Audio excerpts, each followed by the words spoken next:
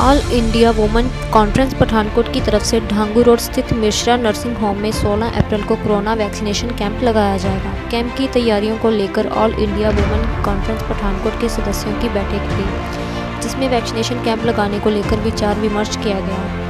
प्रधान पूनम महाजन ने बताया कि ऑल इंडिया वुमेन कॉन्फ्रेंस की तरफ़ से Mishra nursing home, Dhangu road में 16 अप्रैल को सुबह 10 बजे से लेकर दोपहर 4 बजे तक सिविल अस्पताल पठानकोट के सहयोग से कोरोना वैक्सीनेशन कैंप लगाकर लोगों को वैक्सीन लगाई जाएगी। उसी प्रकार चेयरमैन डॉक्टर वीना मिश्रा ने कहा कि कैंप में 45 वर्ष की आयु से अधिक लोगों को वैक्सीन लगवाई जाएगी। उन्होंने कहा कि वैक्सीन लगवाने के लिए आने वाले लोग अपना आधार कार्ड साथ ज़रूर लेकर आएँ।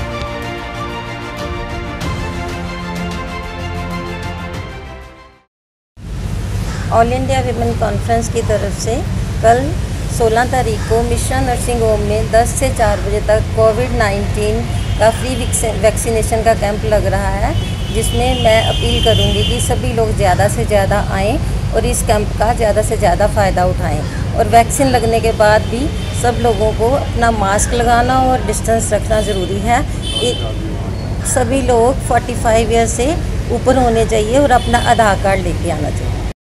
16 अप्रैल 2021 को पठानकोट में ऑल इंडिया वुमेन कॉन्फ्रेंस की ओर से एक कोरोना वायरस का वैक्सीनेशन कैंप लगाया जा रहा है, जिसमें सारे पठानकोट वासियों को मैं सलाह दूँगी कि वो ज़्यादा से ज़्यादा लोगों को लेके आए और वैक्सीनेशन कराएँ।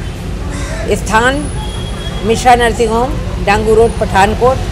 समय होगा सवेरे 10 बजे से 4 बजे तक का और जितने वैक्सीनेशन के लोग आएँ, वो अपने साथ आधार कार्ड अवश्य लाएँ और अपना रजिस्ट्रेशन करा के अंदर वैक्सीनेशन करा सकते हैं। इसमें हमारा स्वास्थ्य विभाग और जिला प्रशासन पूरा सहयोग दे रहा है, जिसको कि हमने मॉर्निंग में बुलाया हुआ है और वो लोग आपके पूरे नेतृत्व करेंगे और वैक्सीनेशन लगाएँगे। हमारी ऑल इंडिया वुमेन कॉन्फ्रेंस की सारी सदस्याएँ अब आप लोगों को वैक्सीनेशन में सपोर्ट करेंगी। Thank you